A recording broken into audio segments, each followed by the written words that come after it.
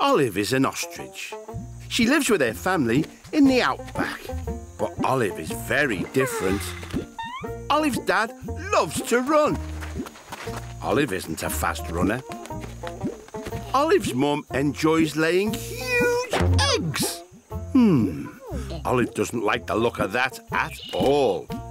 Olive's little brother pecks at the ground to find tasty roots to eat. Pecking at the ground makes Olive sneeze. But Olive has an incredible imagination. So while the rest of her family are running, pecking, and laying eggs, Olive can be found imagining herself going on amazing adventures when she buries her head down, down into the sand.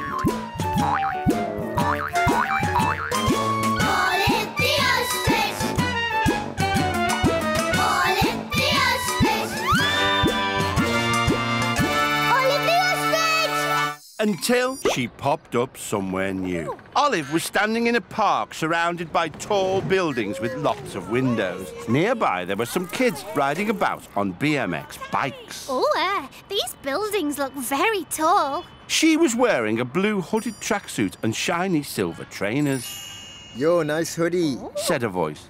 Olive turned around and saw two boys. They wore blue tracksuits and silver trainers, like hers. You!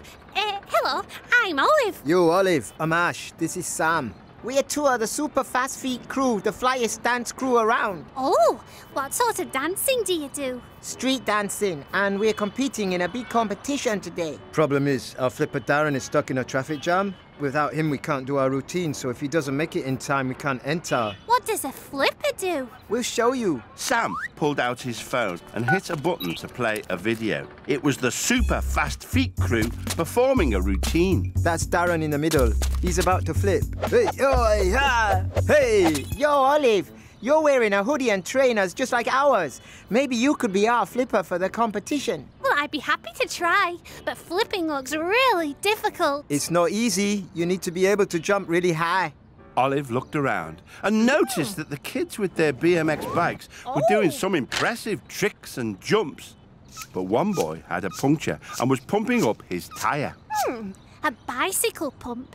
Trainers? I think I may have an idea. Olive walked over to talk to the boy. Excuse me, can I borrow your bike pump, please? Yeah, sure. Olive stuck the end of the bicycle pump into the sole of her silver trainer and began to pump. The shoe started to inflate. She did the same to the other one until she had created a pair of super bouncy super trainers, Ooh, okay. I'm very tall. Try a flip. Suggested Ash. Olive started to bounce higher and higher, and then she did a normal backflip. That was tight. It certainly was. Let's go, Olive. The competition starts soon. Darren was still stuck in traffic, so Olive performed with the super fast feet crew. The routine was going really well, and Olive did some amazing flips, bouncing on her super trainers. Soon, it was time for the big finish a quadruple backflip from Olive. She bounced higher and higher and then straight into the flip. But Olive had flipped too high. She lost control and couldn't stop flipping. Just then, Darren arrived. He rushed into the arena and saw Olive somersaulting through space. Darren ran over, did a massive forward flip, and caught Olive mid-air.